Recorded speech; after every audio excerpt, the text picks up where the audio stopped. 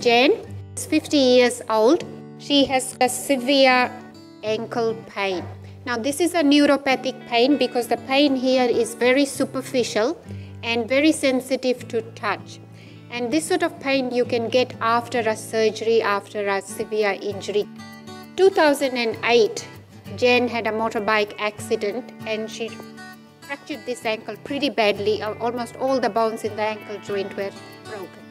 She had the surgery, didn't work so much. They had to fuse her ankle joint so that it doesn't move and she would uh, have some improvement with the pain. However, this neuropathic pain has remained. We did give her one lot of injections, I think, a few months ago, and she had good improvement, so she has come back for it to do. Now, this is my favorite, but it is very painful for the patient. So the trick here is to inject as quickly as you can, maybe 5-10 needles, and then give them a break to breathe, and then restart and finish it off as quickly as you can. So here, I've, here I'm using very tiny needle and very superficial. You will see the bleb coming off the skin because that's where the nerves are just underneath the skin and it is 5% sugar solution. I have marked all these dot points that she has got about 20 to 25 of them. They are the tender spots that she has.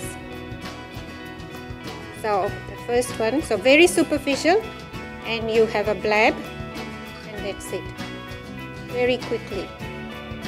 Because they have had pain for so long and it's so disabling, they don't mind this pain.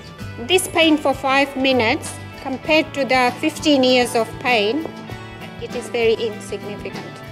So you can see the scar and I think when they did the surgery, they damaged the, you normally when you cut, you damage the superficial nerves as well. So these nerves over here are very, very sensitive. She's doing very well. She hasn't kicked me yet.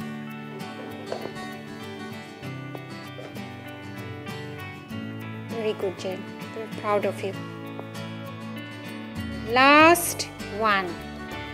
Oh my God, you are a champ.